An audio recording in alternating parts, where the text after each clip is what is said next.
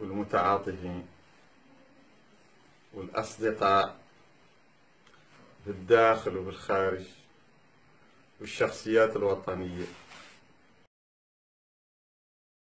الدولية اللي اتصلت بإلحاح منذ اغتيادي الساعة اقتادتني الشرطة شور إدارة الأمن هاي الليلة. من أجل تعرف الأخبار ومن أجل التضامن ولين نخبرهم هاي الناس الحبيبة كاملة إلى قلبي. ونخبر جميع الموريتانيين والموريتانيات. ونخبر الرأي العام الوطني والدولي عن مواجهة حقيقية مع نظام ضد القانون وضد الدستور وضد أبسط القوانين. أنا تميت لنا عيطت لي إدارة الأمن. منين جيت المدير الأمن؟ ولاية عرفات. بن واكشوط اللي هو المعيط لي. قال لي عنه به اللي إيراع عدلت ثلاث أيام الماضيين نشاطات مظاهرات. وعن ذيك المظاهرات المسيرات ما هي مرخصة. وعن هذه المظاهرة التالية خذت اليوم في ولاية عرفات عنها مظاهرات فيها العنف مستخدمين والمتظاهرين وعن نيانة هو اللي قايل لهم يستخدمون. وقلت له عنه ذا قال مو حق. وقال لي عن عنهم هم السلطات العليا أعطاه أوامر عنه أي مظاهرة لا تخلق ما هي مرخصة. عنه ليحكمني أنا شخصيا. ويحيلوني للسجن ويحيلوني للقضاء قلت له عنه لا يحكمني ضرك ما عينه قاعد نفوته ولا عينه بنمشي عنه.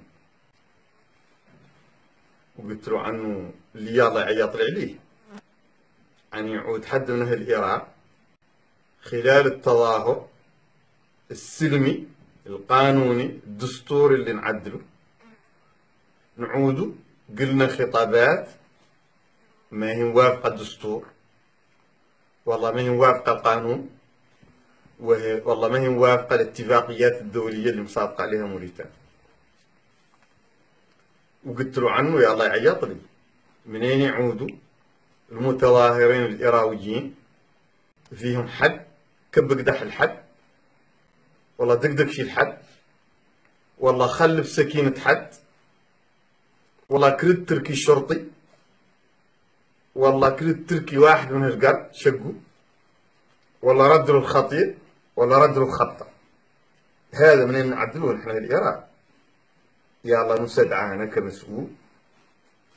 أول في المنظمة. يا قال قلت إحنا الإيرادات ما نعدل إحنا نضالنا السلمي وتظاهرنا السلمي. ولا هم شيء يقد يشقر علينا من قد احترام القانون. اللي قلت له ما هو قانون انتوما به اللي القانون ماكم محترمينه والدستور ماكم محترمينه وحق التظاهر السلمي حق مدستر مشروع ونحن ماكم ليه تركون له.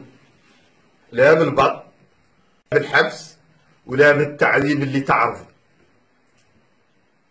والتظاهر ما هو مرخص وله سلمي وله قانوني وله دستوري. ذا اللي معدل قدام الرئاسة ونهارات معدلين وقومكم انتوما وأنصاركم وزلامكم. ولا قط سميتوهم ولا قط استدعيتوهم.